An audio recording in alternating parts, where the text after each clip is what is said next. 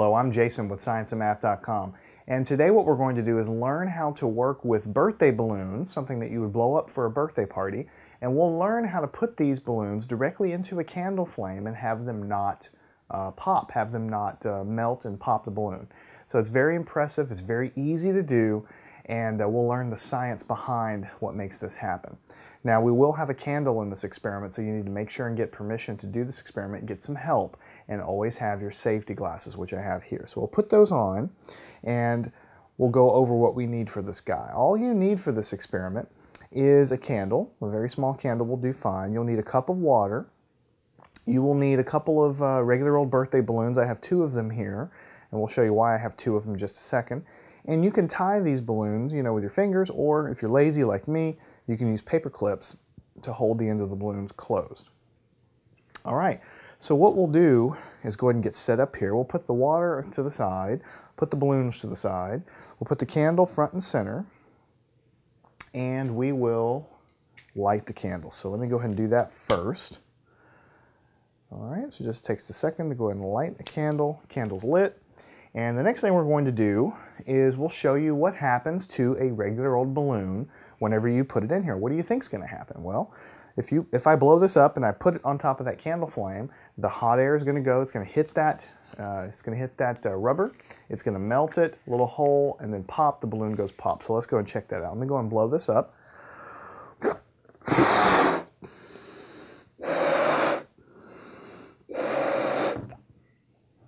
All right, so there we go. So I'm going to blow it up. Now you can tie it if you're really good at tying balloons. Tying balloons can be difficult, so if you want, you can just, once you get it blown up, you can just twist it a few times like this.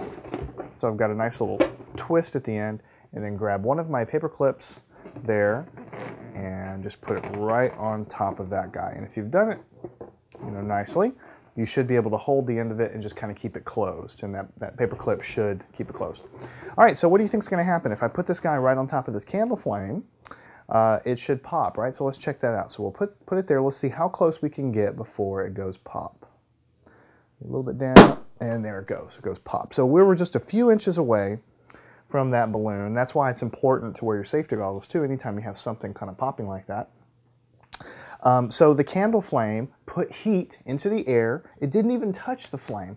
The heat that was coming up off the candle flame went directly to the rubber, made, made a tiny small hole in that rubber because it melted it, and then as soon as it made a small tiny hole, the whole thing uh, just kind of pops, right? So that's what we kind of expect. So let's go and relight the candle. It looks like our balloon actually put out our candle flame.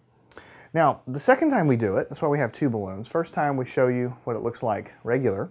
Now, I want to do the same thing again. But now what we're going to do is put a little bit of water in our balloon. We're not going to fill this balloon with water. We're going to put a little bit of water in it, maybe even less than half a cup of water. So what I'm going to do is just pour a little bit of water into the bottom. So now I have a little bit of water. I'm going to put a little bit more. I would guess, well, maybe that's like Probably four or five tablespoons of water really is all it is. Okay? So we're not filling up the water, we're just putting a, a, a little bit of water in the bottom of the balloon. Now let me go ahead and blow it up again.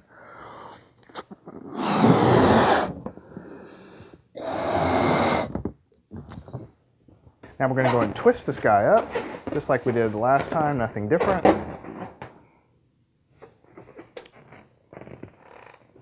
And put that paper clip on there to hold it there. Now what we have is a balloon, and if we've done it all correctly, we should have water sloshing around the bottom of this balloon.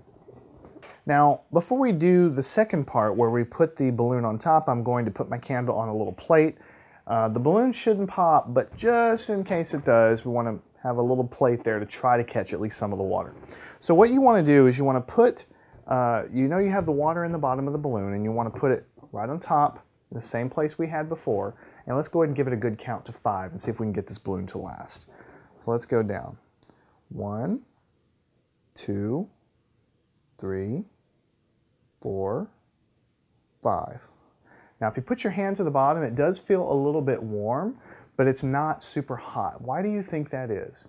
It's because you have water inside of it. So what's happening is the heat from the candle is going into the rubber And normally it would pop that rubber, but since there's water in it, water is a great uh, absorber of heat, so to speak. So what happens is you put the heat into the rubber, the water is sitting right behind the rubber on the other side. It's absorbing all that heat. So it's kind of pulling it in. It loves to take in that heat and water can absorb a lot of heat you know, uh, by itself. So it kind of takes the heat away from the rubber and that kind of prevents it from popping.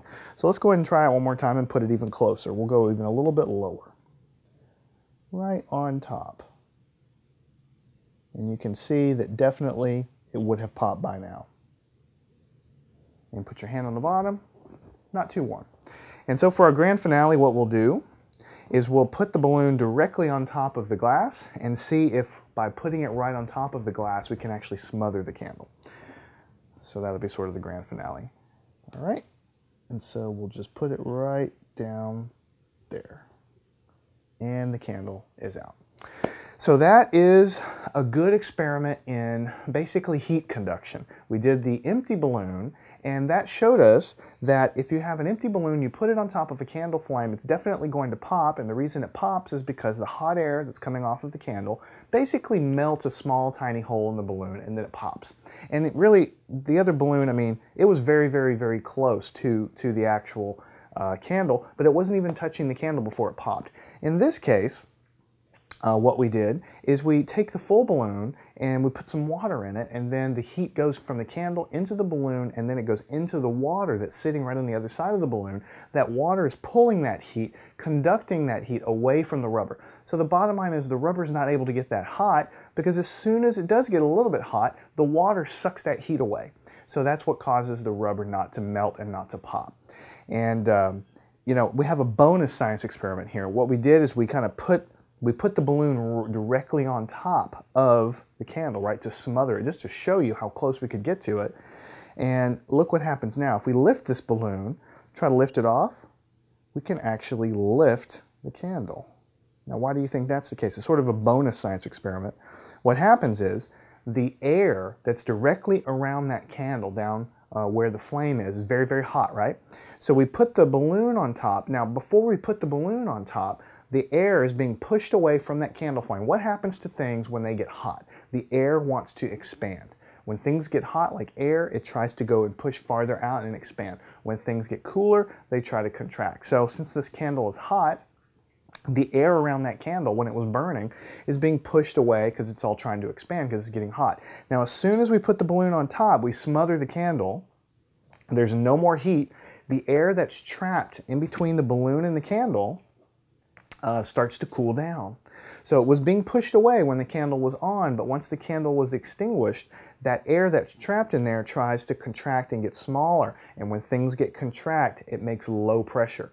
So there's atmospheric pressure out here pushing on everything, and inside, between the balloon and the candle, is a little pocket of air since it it's trapped and since it cooled down it actually has low pressure so you have low pressure which means low pushing inside of here. You have outside air pressure pushing on it. So what's really happening here is the outside air pressure, the atmospheric pressure, is holding these things together. We have air pressure pushing up on the bottom and pushing on the balloon, holding it together. We have low pressure on the inside. It's not able to fight it. So the outside air pressure wins and it holds everything together. The only way to get these things off is to kind of pop it off like that. I'm Jason with scienceandmath.com. I hope you've enjoyed this experiment. Uh, go get yourself the materials needed, very simple to find uh, things. Candle, couple balloons, couple paper clips if you want, uh, goggles of course, and most importantly adult supervision. Go try it for yourself.